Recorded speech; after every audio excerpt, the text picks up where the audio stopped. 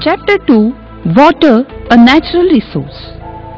From the time we get up in the morning, we use water for many purposes such as drinking, cleaning, cooking, and washing.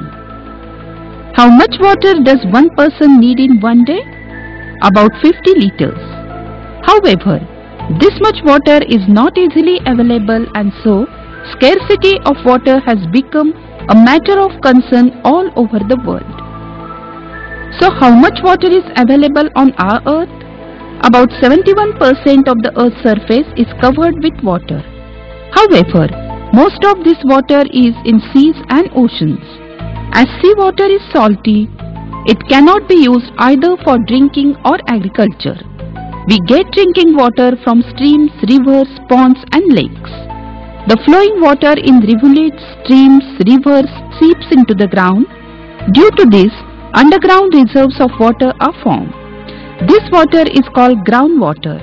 We obtain water from these sources by digging wells and tube wells. However, with continuous use, the level of groundwater is falling.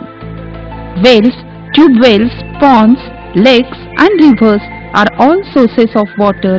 They are replenished by rainwater. Water is found on the earth in three stages. Water in wells, lakes, rivers and seas as well as groundwater is in the liquid form. In the polar regions and at the tops of the high mountains, water is in the form of ice that is in the solid form.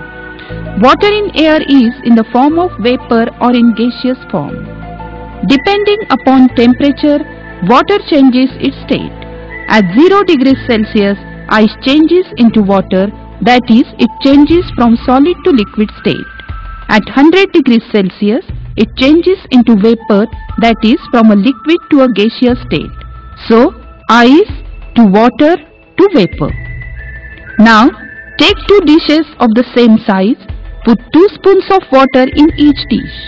Place one dish in the sun and one in the shade or inside your classroom. Observe the two dishes. So, the conclusion is water evaporates at all temperatures from 0 degrees Celsius to 100 degrees Celsius. At higher temperatures, water evaporates faster. In hot, dry regions, the soil too is dry. These areas get very little rain. When it does rain, the hot and dry weather causes water to evaporate quickly. To solve the water problem from these areas, water from other places is taken there through canals and this is known as irrigation. To reduce the evaporation of water, there are some ways. A layer of a substance called cetyl alcohol is sprayed on the water in reservoirs in which large quantities of water are stored. This helps to reduce the evaporation of water. 2. Water from irrigation is usually carried through open canals. Instead, if the water is carried through large pipes, it costs a little more but it prevents much of the evaporation of water. 3. To save water, some plants are grown under plastic covers.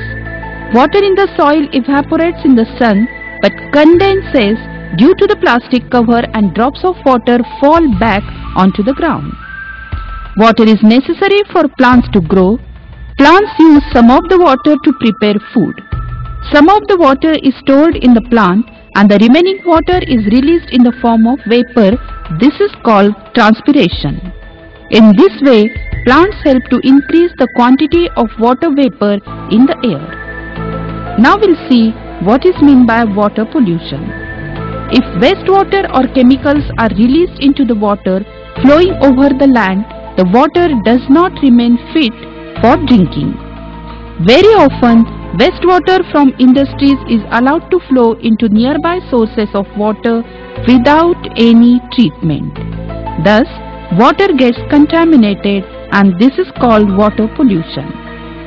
The law makes it compulsory to treat wastewater properly before it is released from the factory. Where this is not possible, trench latrines, septic tanks and soak pits are built to drain away the waste from toilets and latrines. Now, potable water. The water that we get from the different sources may not all be fit for drinking. At water treatment plants, there are filtering machines to remove the impurities and destroy the germs in the water. Chlorine is also added to the water at the plant and this process is called chlorination. The government spends a lot of money on the storage, filtration, chlorination of water and on supplying the water to our houses through pipes. That is why piped water is costly and we must take care to see that such water is not wasted. So, water management is very important. About three-fourths of the earth is occupied by water but 97% of this water is in the seas. It means that only 3% of the water can be used for drinking or other purposes. We may find a way out of this water crisis by using measures like taking care on a personal level to use water sparingly, reusing water after suitable treatment rather than wasting it, reopening old wells that have become blocked and this is called water management. Now, something about rainwater harvesting. When rainwater is collected and used later, it is called rainwater harvesting. As rainwater is clean, it can be stored and used later without any treatment. Besides this, water in the drains along the sides of the roads is also allowed to seep into the ground. This helps to raise the level of groundwater and thus water reserves are replenished.